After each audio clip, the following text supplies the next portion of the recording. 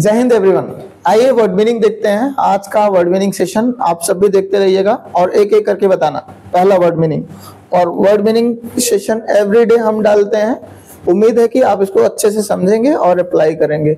आपको जिस चीज़ की वर्ड मीनिंग नहीं आती, आप कमेंट बॉक्स में पूछ सकते हैं। आइए देखिए, अवैध संबंध बनाना। These word meanings from newspapers अगर आप इसको पढ़ेंगे तो न्यूज़पेपर आपको इंग्लिश में पढ़ना आसानी से आ जाएगा। ठीक? है चलिए what is the meaning of अवैध संबंध बनाना इन इंग्लिश इंटीमेट रिलेशन क्या होगा?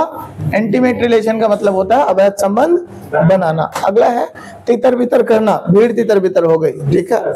डिस्पर्स डिस्पर्स मीन्स होता है तितर बितर करना। ठीक है? डिस्पर्स मीन्स होता है तितर बितर करना। अगला है सफाया करना। किसी चीज़ को सफाया करना। सफाया करना को इंग्लिश में क्या बोलते हैं? चलिए बताइए। सफाया करना को इरेडिकेट बोलेंगे। क्या बोलेंगे? इरेडिकेट इरेडिकेट मीन्स होता है सफाया करना। बेदखल। बेदखल कर देना, या बेदखली, क्या कर देना? बेदखली या बेदखल को बोलते हैं इविक्शन नहीं, ये बेदखली है। ठीक है इविक्शन है। डंडे की मार। किसी को डंडे की मार पड़ रही है तो फ्लोगिंग हो रही है। फ्लोगिंग फ्लोगिंग को बोलेंगे डंडे की मार, ठीक है। फ्लोग मीन्स होता है एफएलओजी डंडे से मारना। आगे देखिए, तैयार करना, किसी चीज़ को तैयार कर लेना। तैयार कर लेना को इंग्लिश में बोलते हैं gear up gear up means होता है तैयार करना।